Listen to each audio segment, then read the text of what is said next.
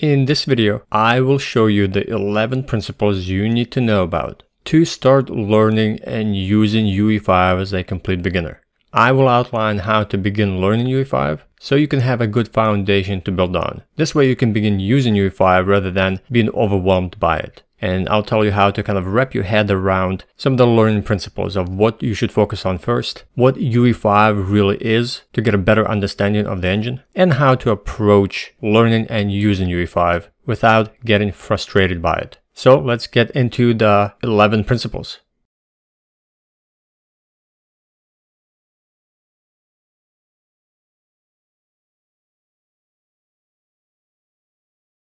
The first principle is to decide what do you want out of UE5. One thing you have to understand about Unreal Engine 5, it is the complete game engine. It's used across multiple industries such as video games, for film, television, architecture, broadcast, live events, training simulation, automotive, and transportation. And because of this, you'll never master every aspect of the engine. You just simply don't have enough time for that. So you need to narrow your focus decide what you want from UE5. Why do you want to learn it? And what do you want to create with it? And the easiest way to figure that out is to pick one industry that you want to go into and create for. So, do you want to use UE5 for video games, for film, for television, architecture, for broadcast, to create live events, for training and simulation, or for automotive and transportation? By narrowing down to just one on this list, this will help you focus on learning the industry pipeline to what you need to know to get out of UE5 to create faster. Now, there's of course a lot of overlap between some of these industries and between the use of UE5. By picking one and then focusing on that first, you'll be able to cross over to other ones later. Number two is you need to understand that UE5 is a collection of editors and plugins. This is the simplest way to think of Unreal Engine in order to wrap your head around it. UE5 has a lot of editors, a lot of modes, plugins out of the box. Many of these require separate tutorial courses to cover the complexity and the depth of what it can do to help you create with UE5. And here is a list of some common editors and modes that are enabled inside UE5. I'm not going to read through them all, but you can see there's a lot here. And it would take you weeks and often months to just use one type of editor and get everything out of it. And this list doesn't even include hundreds of plugins available in UE5. And some of them are enabled at a project start, and many can be enabled by going to Edit, Plugins.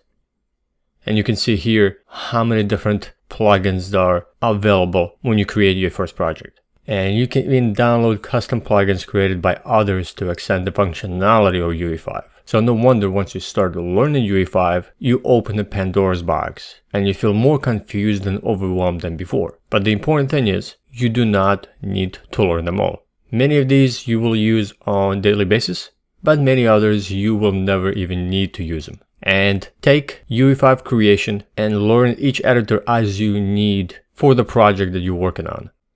Number 3.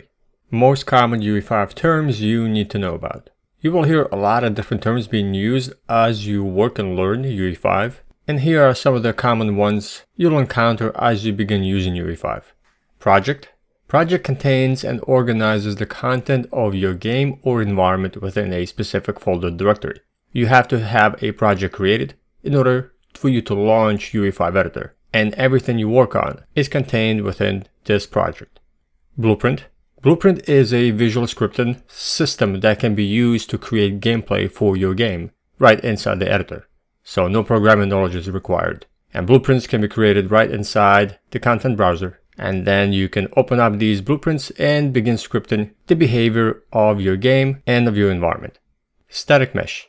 Static Mesh is a 3D model created inside a modeling package such as Maya, Blender, 3ds Max, and some others, and then imported into UE5. You can also use the modeling mode in UE5 to create static meshes.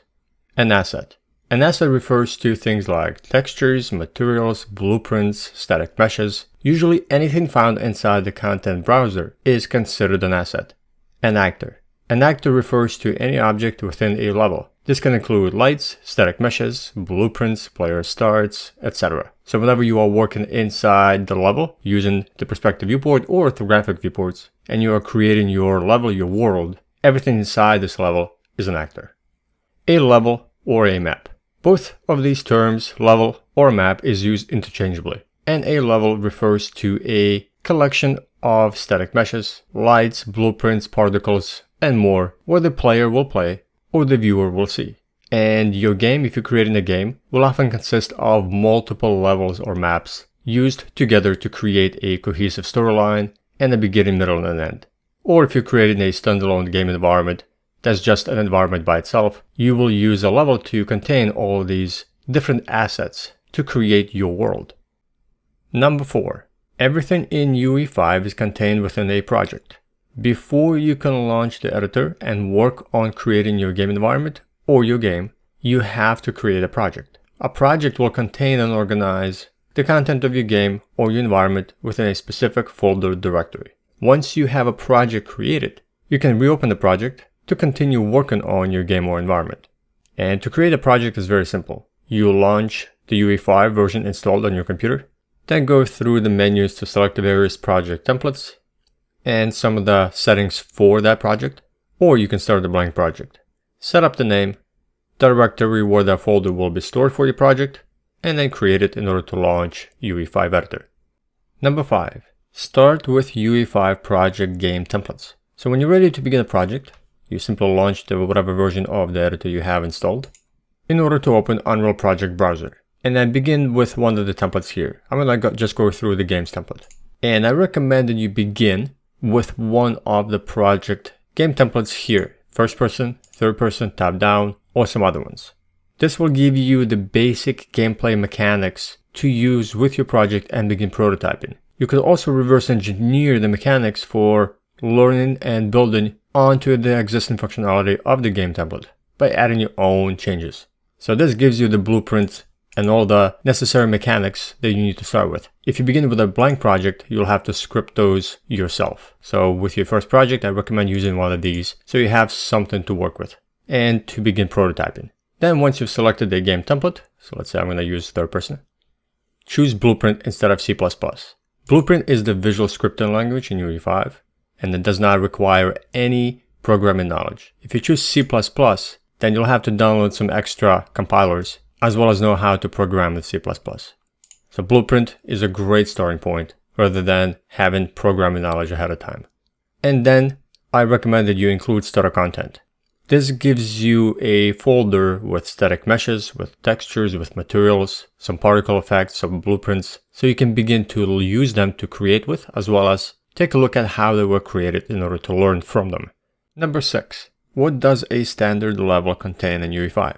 A standard level should contain the following actors. Most of these, but not all, are included in the basic map template when you go to File, New Level, and choose the basic map template.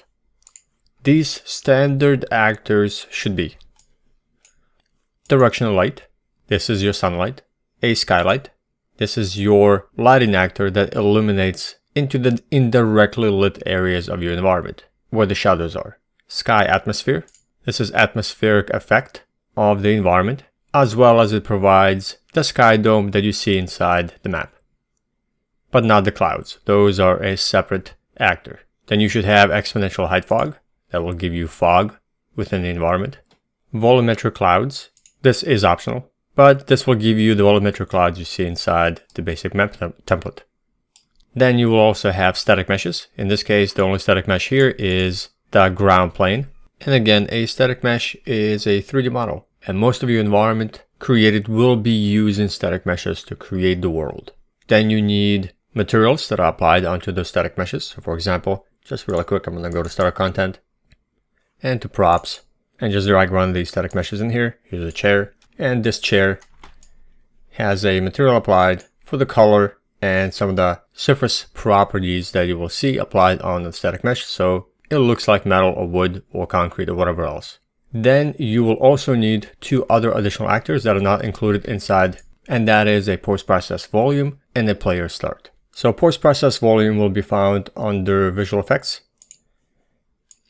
And this is a very important actor that determines the visuals of your environment, but also it controls some other many important properties for how your level will look. So you should always have a post-process volume inside your map in order to control those visuals of your level. including auto exposure or eye adaptation effect that happens inside your map.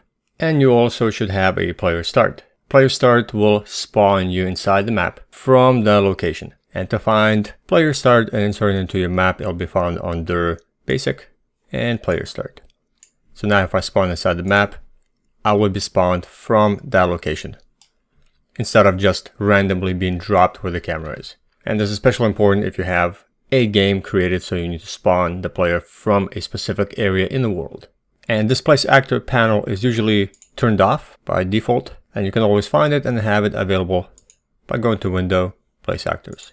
So these will give you enough to start with to create your environments. But there are many other actors you will need to include to complete your world, such as point lights, spotlights, landscape, particle effects, audio, blueprints, water, and animations. And there are many more. But the ones listed here are an excellent start and will give you enough to begin creating.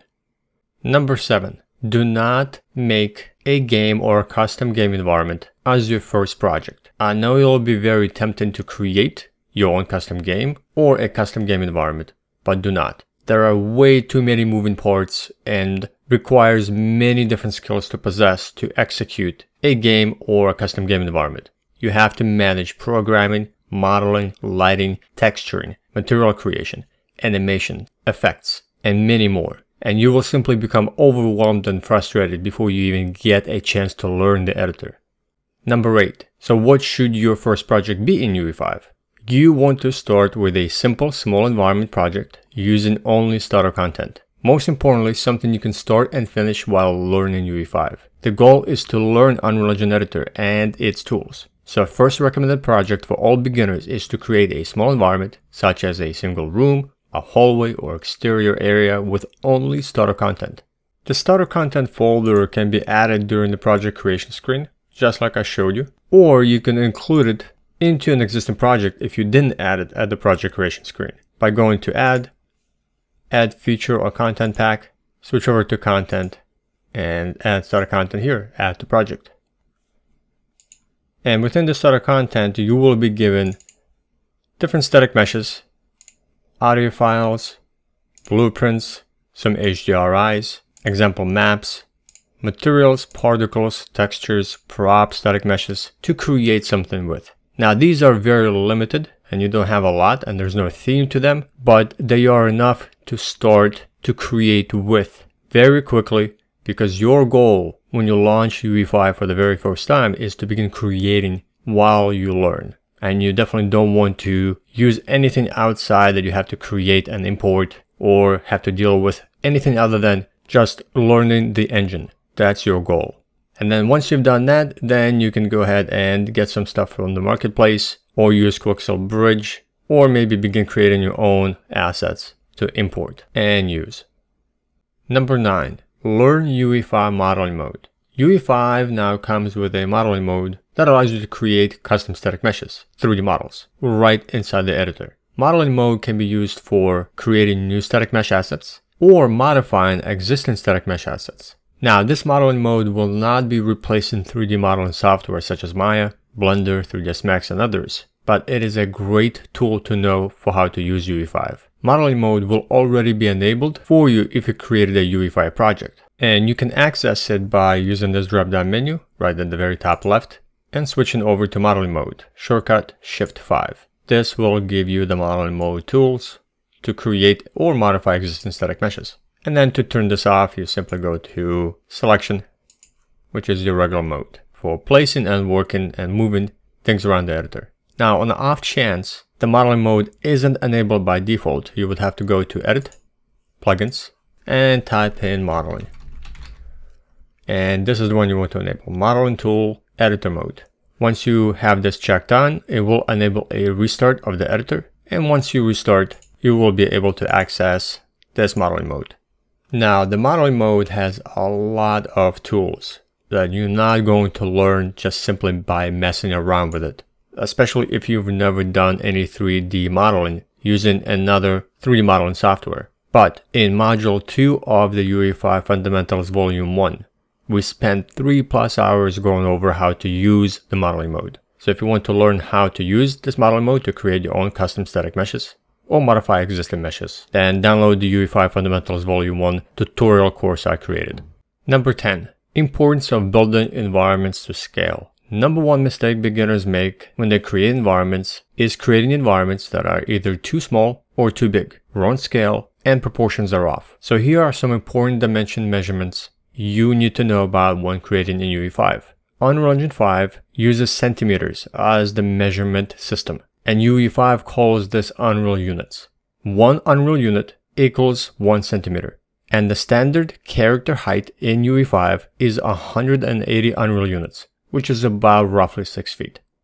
If you included a third-person game template, you will have a few mannequins or player reference scales to use to insert into your environment, into your game, to judge scale and proportion of the environment. By going to characters, folder inside the content browser, you'll have UE4 mannequin and the UE5 mannequins. Inside the UE4 mannequin folder, and then inside meshes, you'll have the SK underscore mannequin to use. So you just simply left click, hold and drag to insert into the map.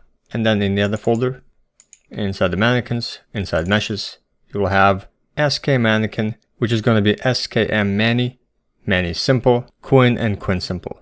These four right here. And you can actually use this one as well. So you can actually drag that one or any of these four. So if you just select them all and drag them into your map, of course you just want to only select one, not all four at the same time. But just to show you have variety for which one you would want to use for your scale reference to judge proportion of the environments you create. And all of these give you very accurate dimensions of the player character in game and the height of 180 Unreal units to help you judge proportion. If you didn't include a third person in game template, you can add it into an existing project in order to get access to these by going to add, add feature or content pack, choose blueprint, then select third person and then add it into a project. There are a few other ways you can do so by inserting a custom character mesh or downloading some from the marketplace content from Epic Games Launcher. And these are extremely important and I use them in every project and in every environment I create. Number 11. Beginner Roadmap to learn UE5. So your first goal as a beginner is to learn how to use the UE5 editor and its tools. You want to stay entirely inside UE5 Game Engine and avoid introducing any external software such as Blender, Maya, Houdini, Substance Painter, or Designer. Focus on learning UE5. And here's the best way to learn the engine as a complete beginner. First, focus on the essentials of the engine, such as editor's interface, viewport navigation, using different viewport modes, project management, using the content browser, working with objects in the editor, and creating very simple levels using starter content. Second, you need to learn how environments are constructed in UE5 and how to use existing assets in UE5 to create your own environments. This includes using static meshes or 3D models and how to work with materials and textures. Third, learn the modeling mode to create your own custom static meshes right inside the editor. Fourth, learn essentials of lighting and how to light exteriors and interiors with UE5. And fifth, learn how to use atmospheric effects such as fog, sky atmosphere, using particle effects, adding audio, and how to use the post-process volume to control the visuals of your environment. Once you are able to create your own environments following these five steps, you will be in a very strong position to take UE5 in any direction you want. And I will teach you Unreal Engine 5 as a complete beginner with zero knowledge of the engine and without any prior experience. I will guide you through every single one of these five steps of learning UE5 in the UE5 Fundamentals Volume 1 tutorial course. It has 40 videos, 11 plus hours, and by the end of it, you will learn how to start using UE5 to create with. You can download this UE5 Fundamentals Volume 1 course right now by using the link in the description box. And if you're watching this video on worldofleveldesign.com blog post, there'll be a link in there for you as well.